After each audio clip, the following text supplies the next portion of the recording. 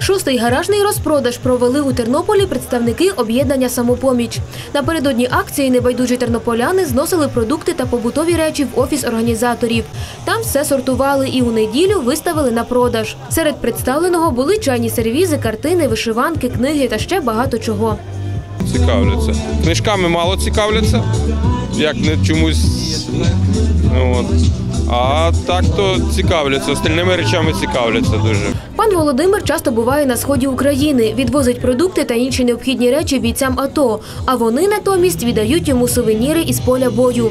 Свою торгову точку на гаражному розпродажі чоловік виставив не так для того, щоб щось заробити, а більше для того, щоб всі ці речі, використані патрони, уламки від снарядів, зброю та інше, побачили люди і зрозуміли, це відлуння не минулих років, а сьогодення. Бачите, от роблять такі підсвічники. А це з е, гільз з ЗСУшок.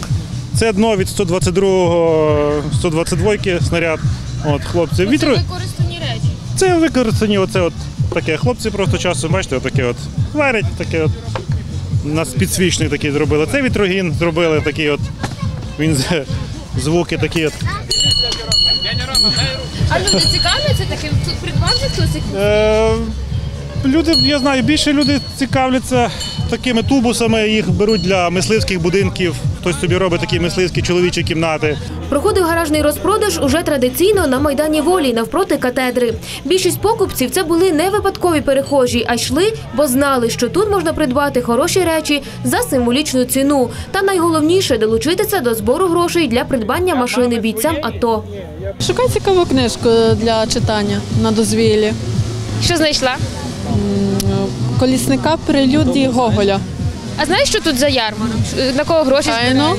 Гаражний розпродаж для збирають кошти для військовослужбовців. Ну тому і саме з цією метою я і сюди прийшла вже не перший раз відвідую. Придбав от старий виключатель якийсь, я знаю, чи він пригодиться, чи ні. А вперше на такому розпродажі. Знаєте, що це за Вдруге. розпродаж? Вдруге, знаю. Це розпродаж, е, кошти підуть на придбання позашляховика для воїнів АТО. Щоразу перед початком акції організатори хвилюються, чи вдасться їм назбирати потрібну суму. Адже гроші збирають на позашляховик для бійців АТО. Вартість одного такого – 2 тисячі доларів. Та попри хвилювання, щоразу виручки із проданого все ж вистачало на купівлю машини. Винятком не став і теперішній гаражний розпродаж. Цього разу організатори зібрали рекордну суму – 53 тисячі 420 гривень.